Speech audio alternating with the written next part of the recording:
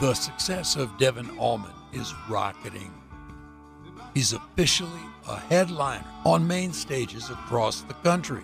One of those legendary venues he often plays brings back special memories with his dad, singer songwriter Gregg Allman. The Ryman is uh, a, the mother church in Nashville. It's one of the, you know, the most esteemed venues in, in the country. And the first time I ever played there was with my dad. And he said, uh, hey man, at the end of the show, we're gonna bring up a friend of mine and you guys can have like a little guitar duel. And I was like, great, like who's, who's coming by? And he goes, oh, it's Keith Urban. I was like, great. this guy is, he'll just, you know, he's such a slayer. Uh, what a great guitar player. And we had a lot of fun.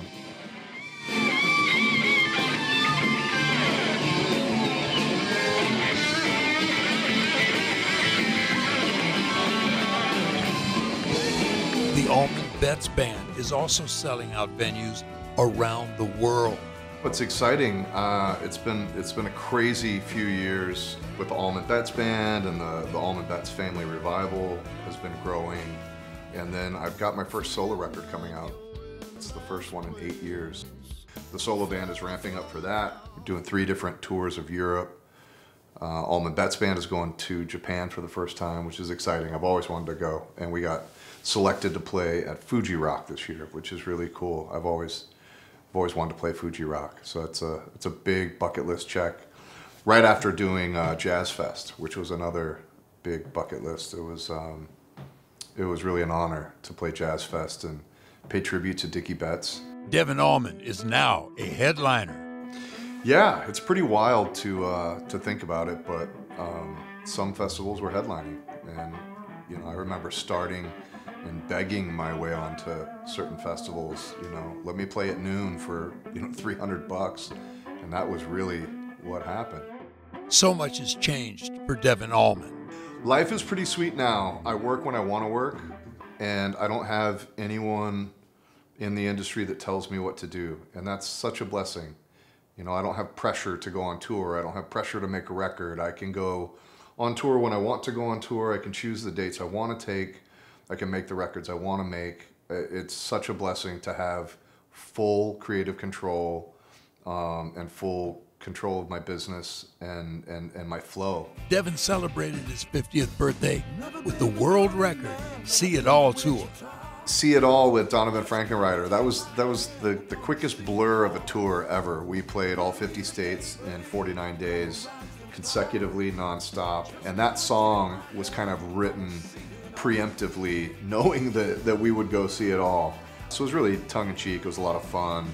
The video was shot at the factory, actually, on one day where they didn't have a concert there, and, and we built a video wall and shot a bunch of kind of travel-themed visuals behind us, and it was a lot of fun.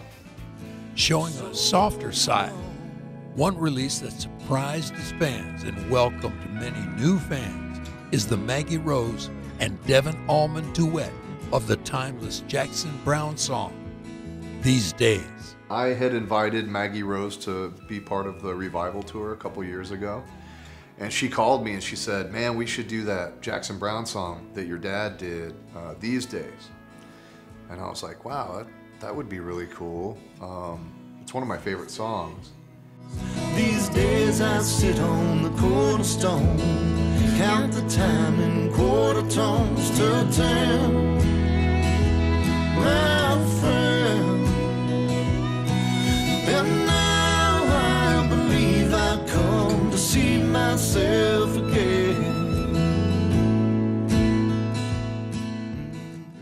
Devon recently finished recording his new album. So you're feeling down and out. It's a really fun record. It's a different record for me. It's kind of a R&B funk record. I think it's the first time where I've ever made a record and, and didn't concern myself with it fitting in a, a blues category or a blues rock category. The new record, it's called Miami Moon. I went down to Criteria Studios in Miami to, to make this record. Uh, Criteria Studios is where the Allman Brothers made about 10 records, including Eat a Peach and Seven Turns and just some, some fantastic Allman Brothers records were made there. It's just dripping with history and mojo, and I always wanted to record there. Devon literally does it all and has his own record label as well. Yeah, I started Create Records in 2018 and I really started the label. It's it's a labor of love. It's it's really meant to be kind of a farming system for younger artists. You know, I, I realized that the days of record labels signing artists and actually nurturing them through their career, they're just done. I've signed a few artists. It's been a lot of fun. Um, it's it's a lot of work. It's scary, you know, but uh, it, it's really fun to help cultivate careers with with others. And I don't know. I think by the time I leave the earth, uh, if I could have gotten 10 or 20 or 30 careers off the ground, I'll feel like I've given back to an industry that, you know, that really took care of me. He is also the curator and producer of the Allman Betts Family Revival Tour, which started out as a one night tribute to his father Gregg's passing. It was so successful that it's now an annual national tour. It was one show at the Fillmore. It was easy to you know, come up with the set list and, and the guests were all my friends and, you know, it was a pretty easy experience to curate. Nowadays, it's, it's a coast to coast tour. Like, we don't want people to get bored with the set list or the guests, so I'm still curating it. I'm, I'm still the producer. It's, uh, it's something that starts a few weeks after the tour is over. We start it up for the next year and we start uh, getting things booked up and uh, getting guests secured and you know, start thinking about maybe a different angle for the set list. You know, um, last year it was really you know kind of half Gregg Allman songs and half Dickey Betts songs.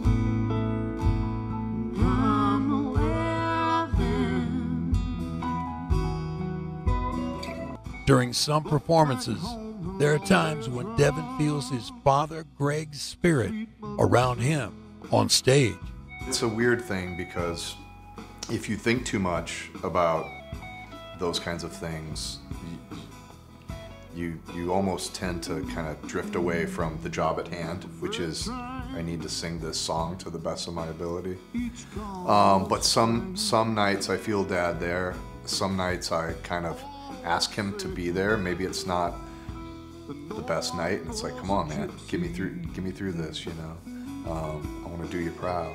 You know. Um, a lot of times there is a, an instant lamenting for me because I, I just wish that dad was up there singing Melissa instead of me. The deepest dreams of gypsy fly to sweet Melissa. Devon inherited his dad's entire guitar collection, some of which he plays on tour. These were a couple of the main ones. When he would play Melissa Midnight Rider uh, live, he would use these two guitars the most. This is a, a Johnny Cash model Martin acoustic, and this is a Gibson J200 and the uh, Tobacco Burst.